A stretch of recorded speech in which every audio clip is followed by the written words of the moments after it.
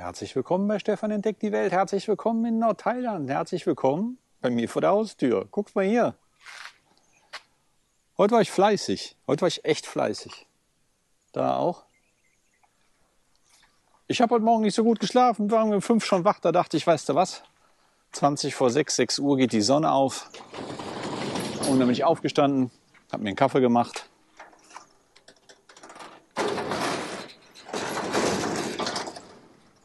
Und habe mich einfach an den Garten gegeben, weil da war noch eine ganze Menge zu tun. Und da habe ich aber echt viel weggeschafft heute. Und äh, ich habe gedacht, ich gehe noch mal eine Runde mit euch durch den Garten, weil doch der ein oder andere immer mal fragt, zeig noch mal Bilder von deinem Garten, was machen die Hühner?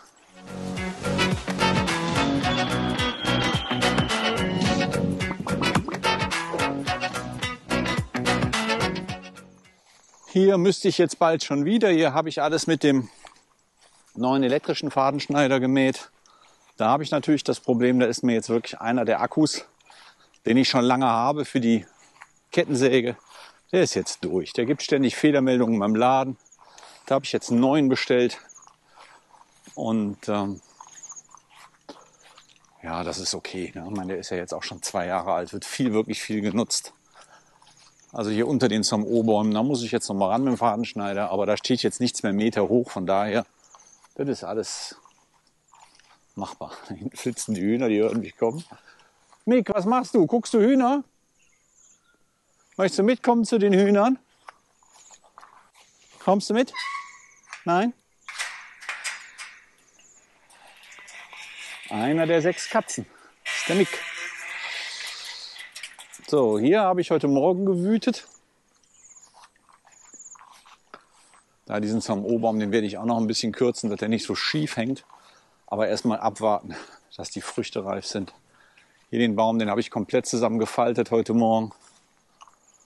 Und äh, jetzt bin ich hier hinten im hinteren Bereich so weit, dass ich bis auf ein, zwei Ausnahmen, wo ich vielleicht noch mal ran muss, überall vernünftig mit dem Trecker fahren kann. Auch der Baum hier, auf den ich gerade zulaufe, der ist auch frisch in Ordnung gebracht. Ja. So, das ist ja mein Ziel, ist das hier alles. Hier diesen Ast, den muss ich vielleicht noch wegnehmen. Seht ihr mal, der ist ja sowieso gebrochen oben drin. Also mein Ziel ist, diesen ganzen Garten so zu machen, dass ich den weitestgehend mit dem Trecker machen kann. Und da unter dem Mangobaum, da muss ich noch mit Elektromotorsense dran. Aber die, da waren die Akkus jetzt einfach leer, sonst hätte ich das schon gemacht. Aber das ist ja zwei Minuten erledigt. Was da noch steht, ist Chili. Den darf ich nicht wegmachen, dann kriege ich Krach mit meiner kleinen Frau. Lecker.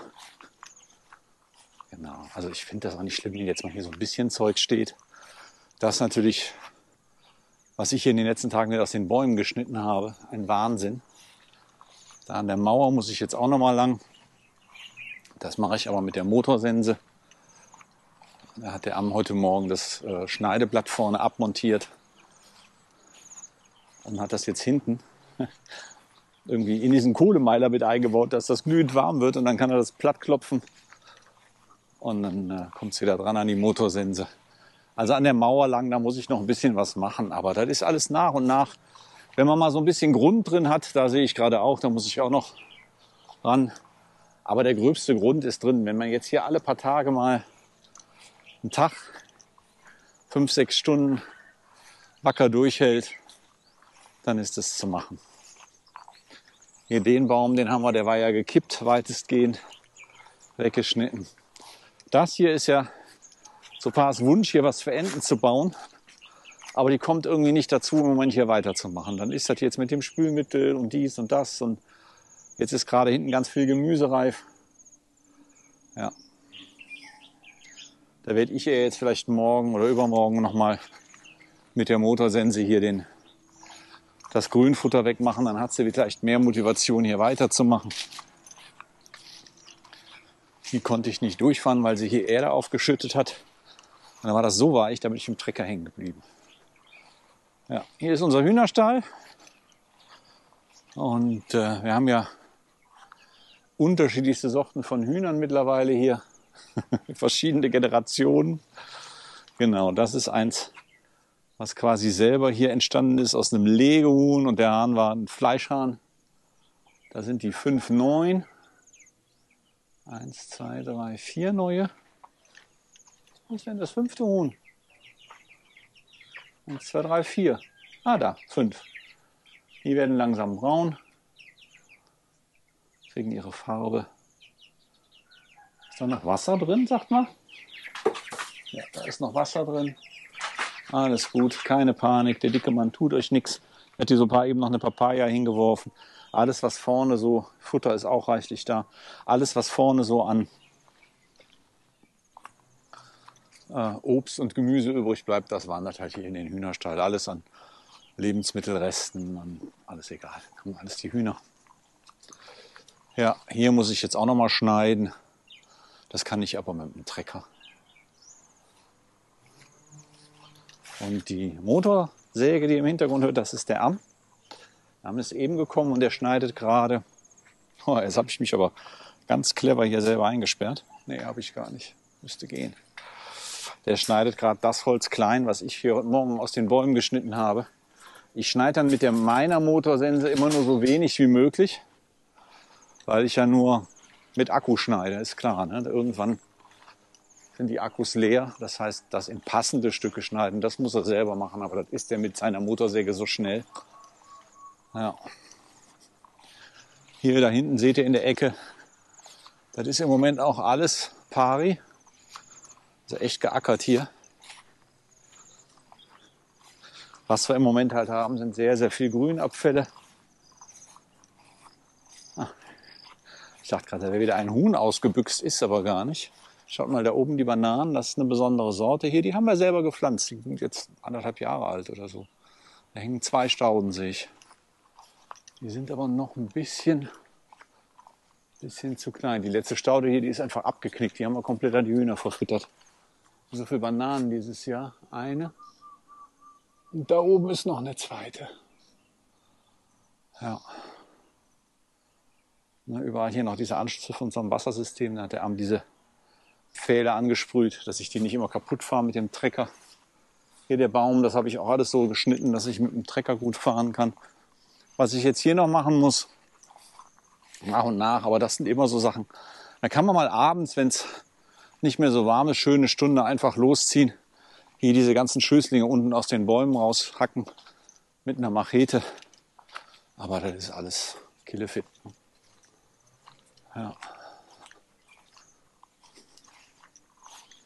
Das sind Papaya-Bäume hier. Das da ist ein Avocado-Baum. Diese hier. Der hat jetzt gerade die letzten paar Monate auch richtig schön zugelegt. Der hat eher so ein kümmerliches Dasein geführt, aber im Moment wächst er richtig gut. Da ist ein Limettenbaum. Da ist noch ein Limettenbaum. Diese gelben Kugeln, das ist eine Auberginenart, da haben wir aber noch mehr von. Man sieht es auch an den Blüten. Das hier ist Baumspinat, kann man auch essen. Zitronengras. Hier sind noch mehr Markeur. Und hier an dem Busch hat die Sopa heute Morgen blaue Blüten geerntet. Äh, die kann man nicht nur essen, die kann man auch nehmen, um Sachen einzufärben. Und damit will sie unser Shampoo einfärben. Will sie mal testen. Ich habe sie also soweit wenn wir das hinkriegen, machen wir ein Shampoo-Video. Also wir haben es vor, sagen wir mal so. Da ist eine Bananenblüte, die hat sie offensichtlich heute geschnitten. Hallo Mieze. Hallo Mieze.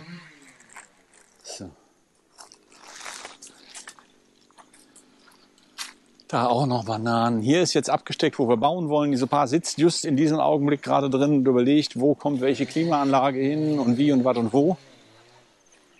Ja. Auch hier wieder eine Brennstelle. Baumspinat, Schaum. Da in ihrem kleinen Gewächshaus. Da hat sie Grünkohl. Und sie so paar erntet gerade, weil ich gleich einkaufen fahre. Und dann nehme ich das mit und bringe das ihrem Bruder. Lauchzwiebeln. Tomaten hast du keine, ne? Ah ja, da, aber da ist nichts reif im Moment. Ja. Ja, da hat sich jetzt noch so ein schwarzes Netz über das Plastik gelegt, einfach um ein bisschen Schatten zu kriegen. Ja. Ja, hier dieses Wassersystem, das funktioniert. Also an diesen Zapfsäulen kann sie immer gut Wasser holen. Mit den alten Zaunpfählen baut sie da gerade ein Hochbeet. Aber da bin ich komplett raus. Mal klar, wenn die Super sagt, hier pack mal mit an, dann packe ich mit an. Aber das ist alles ihr Projekt hier. Und ihr verfolgt ja meine Videos offensichtlich, dann wisst ihr, wie viele Dinge ich noch so nebenbei an der Backe habe. Da bin ich ganz froh, dass sie mich da nicht zu sehr einbezieht. Hier hat der Amm aus einem Baum, den sie letztes Jahr gefällt hat, Bretter geschnitten und beschwert, dass die gerade bleiben, sich nicht verziehen. Da ist noch die Stelle, wo er geschnitten hat. Das macht er alles mit der Kettensäge. Unglaublich. Auch hier haben wir echt gewütet. Ne? Das ist, puh. da ist noch ein bisschen Zeug hier vom Leer um und aufräumen. Kann ja mal gucken, wie viel Wasser gerade in den Tanks ist. Ein bisschen suppt da immer raus. Eine gewisse Grundfeuchte. Und was macht meine Frau? Die sagt, das ist egal, ich pflanze Gemüse rundherum, dann ist das schon mal gegossen. so, oh, die sind fast voll. Ich weiß nicht, ob ihr es sehen könnt. Der Wasserstand ist die oberste, oberste blaue Halterung von dem Schlauch. Kurz darüber steht der Wasserstand. Ist relativ viel Wasser drin.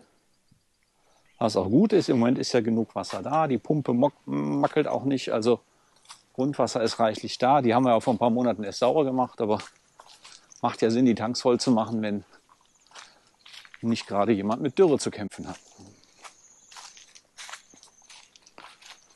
Ja.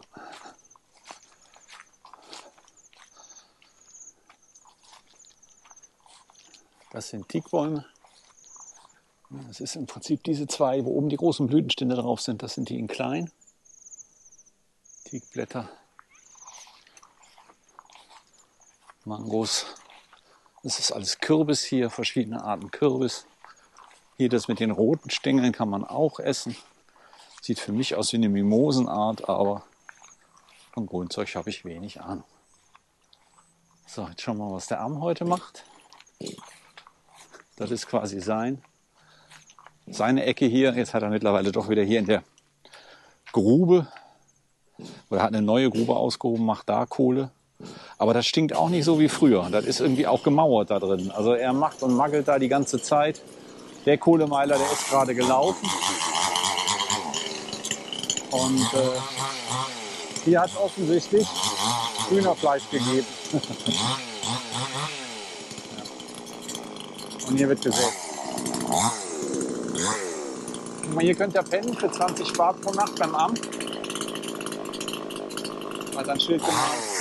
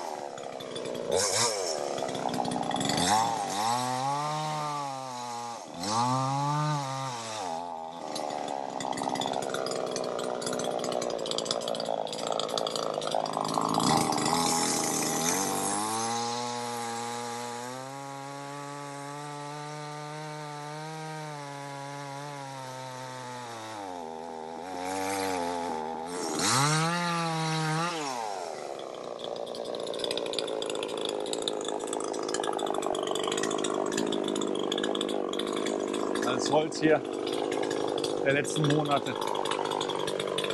Kaffeelimettenbaum, da haben wir das letzte Mal gefilmt, als ich das Shampoo-Video aufgenommen habe. Ja, und ich weiß, es, ich weiß es jetzt schon. Es kommen wieder Kommentare, wie kann der denn mit der Kettensäge ohne Gehörschutz, ohne Schutzbrille, ohne Sicherheitsschuhe, nur in Flipflops. Ich kenne hier keinen, der das anders macht wie er. Das ist hier so. Wenn ich in meiner Spielzeugastsäge hantiere, habe ich auch nur Gummilatschen an. ich mit der Motorsense unterwegs bin, dann habe ich mal zumindest ein Netz vorm Gesicht, um äh, Splittersteine oder sowas abzufangen. Tja. Das ist hier eine andere Nummer. Ne? Das ist hier einfach anders. Ich meine, das gibt's alles. Ne? Es gibt Sicherheitsschuhe und, und Gehörschutz und tralala, aber das hat halt keiner. Das benutzt auch keiner. Und wenn ich dem Am jetzt sagen würde, du musst das aber anziehen, dann würde der lächeln und würde sagen, ja, ja. Aber machen würde der das auch lange nicht, weil das macht halt keiner hier. Ja? Also halte ich mich da einfach raus. Naja, und dann habt ihr eben gesehen, hinten auf dem alten Kohlemeiler, da lag alles voll Federn. Da hat es wohl eins unserer Hühner erwischt. Aber auch da halte ich mich komplett raus. Ich esse kein Hühnerfleisch. Äh, die Fleischhühner sind halt da. Ja, und die werden auch gegessen. Solange ich persönlich da keinen Maless mit habe, ist es mir okay, weil die Hühner, die leben ja hier wirklich ein gutes Leben. Und ob die irgendwann aus Altersschwäche tot umfallen oder ob die ein Jahr vorher die Rübe abkriegen und dann zur Hühnersuppe gemacht werden, mein Gott. Solange ich das nicht essen muss, ist das nicht mein Karma und alles ist gut. Guck mal hier. Limetten. Endlich. Ich glaube, drei Stück haben wir oder so. Aber das gibt ja Hoffnung fürs nächste Jahr, dass dann ein paar mehr kommen. Ja, jetzt sind wir einmal rund gelaufen. Also ich habe echt geackert die letzten Wochen, um das hier halbwegs wieder in den Griff zu kriegen und bin eigentlich ganz zufrieden. Jetzt kommen auch bald wieder Gäste ins Gästehaus, da freue ich mich auch. Da habe ich auch jemanden zum Quatschen. Und äh, ja, hier vom Gästehaus muss ich schon wieder mähen. Ne? Da habe ich damals angefangen vor zehn Tagen oder so, als ich gesagt habe, du musst mal wieder klar Schiff machen im Garten. Da ist schon wieder, auch da am Steintisch, da ist alles voll Laub, aber das ist ja alles schnell passiert. Da haben wir den Besen mal drüber gegangen und gut. Da hat auch der ein oder andere gefragt, was macht dein Gartenteich? Was soll er machen? Der blubbert vor sich hin. Alles gut?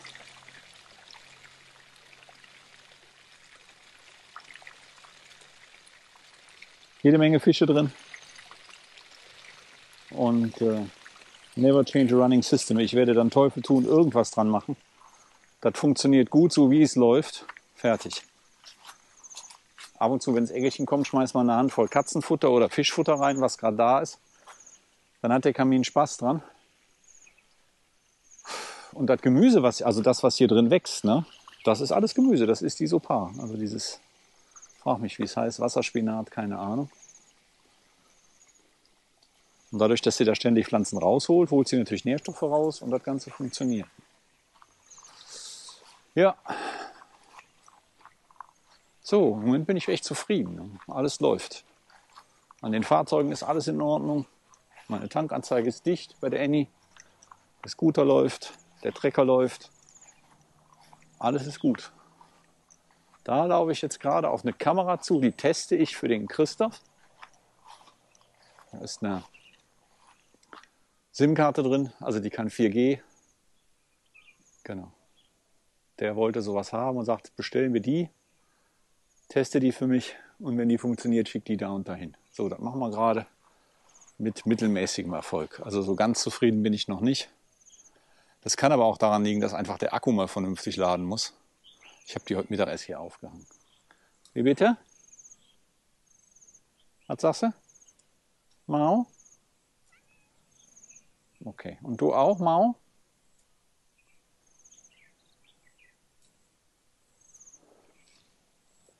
Ist immer irgendwie alles voll mit Katzen. Die Sopa sammelt fleißig, weil ich soll das jetzt gleich zu ihrem Bruder fahren. Bitte? Da oben Papaya ohne Ende. Wenn ich überlege, was die in Deutschland im Asiamarkt kosten. Und hier verfüttern wir sie an die Hühner, weil wir gar nicht mehr wissen, wohin damit. Ne? Wahnsinn. Ja. Stimmt, dem Hundemann bringen wir auch welche. Da müssen wir auch die Tage nochmal hin. Höchste Zeit, ne?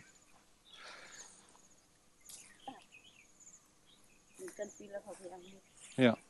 Haben wir seinen Eimer noch hier? Ja, machen wir den Eimer voll mit Papaya.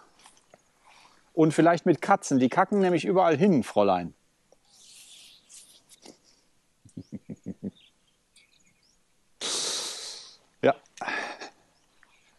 So. Bitte?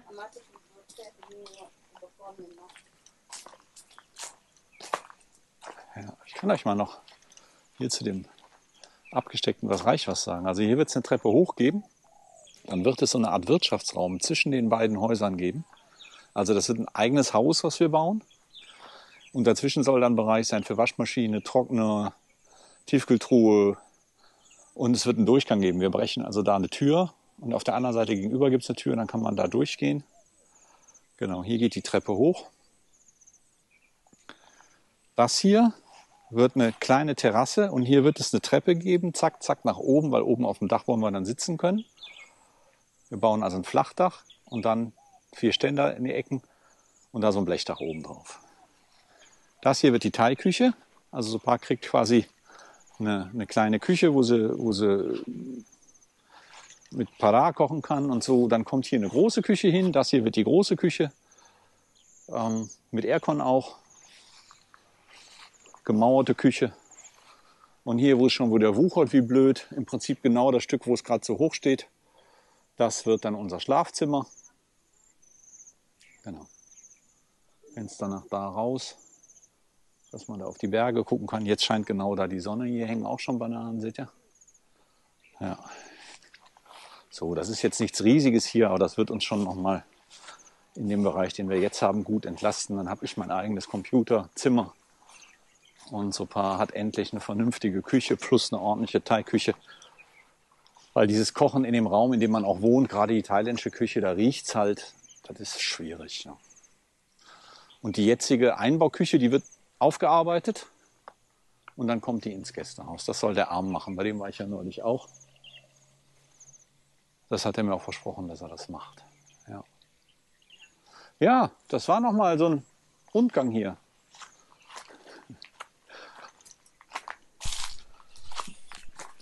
Da ist doch immer wieder nachgefragt worden. Ich habe das gar nicht so in Erinnerung, dass das schon so lange her ist, dass ich das das letzte Mal gemacht habe. Aber wenn danach gefragt wird, dann, euer Wunsch ist mir Befehl, dann mache ich das natürlich. So, und jetzt fahre ich noch Katzenfutter kaufen. Was sonst? Ach, Bier kaufe ich auch noch. Genau. Katzenfutter, Bier.